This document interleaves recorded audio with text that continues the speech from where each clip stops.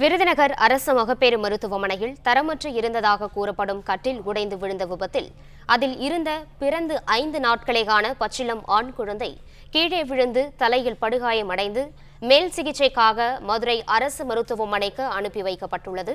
இத்தொடர்பான விவரங்களை எமது செய்தியாளர் மணிவண்ணன் வழங்க கேட்கலாம். வணக்கம் மணிவண்ணன். இத்தொடர்பான விவரங்களை நீங்க பதிவு பண்ணலாம். வணக்கம் ரேவதி.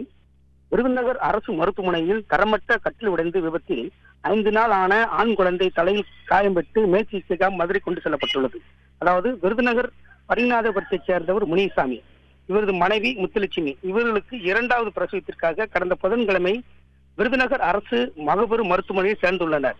கடந்த வேலைக்கிழமை இவர்களுக்கு ஆண் குழந்தை பிறந்துள்ளது. தாய் மற்றும் குழந்தை அரசு மருத்துவமனையில் சிகிச்சை பெற்று வந்த நிலையில் எதிர்பாராத விதமாக அரசு மருத்துவமனையில் கட்டில் உடைந்து குழந்தை கீழே விழுந்தது. தலையில் பலத்த காயமடைந்ததாக கூறப்படுகிறது. தேனெடுத்து பார்த்ததில் மருத்துவர்கள் அவரை மதுரை ராஜாஜி அரசு மருத்துவமனைக்கு கொண்டு செல்ல பரிந்துரை செய்யப்பட்டது. மேலும் குழந்தையை செல்வதற்கு காலதாமதமானால் அங்குள்ள குழந்தையின் பெற்றோர்கள் தரமற்ற கட்டில் படுத்ததால் குழந்தை காயம் ஏற்பட்டதாக குற்றம் சாட்டினர். அதற்கு அடுத்தபடியாக சிறு நேரத்தில் அந்த பரபரப்பு ஏற்பட்டவுடன் குழந்தையை ஆம்புலன்ஸ் மூலமாக மதுரை ராஜாஜி அரசு மருத்துவமனையில் குழந்தைகள் பிரிவுக்கு எடுத்து செல்லப்பட்டது. குழந்தையும் காயடைந்து இருப்பது விருதுநகரில் பெரும் பரபரப்பு ஏற்படுத்தியுள்ளது ரேவதி. தகவல்களுக்கு நன்றி மணிவண்ணன்.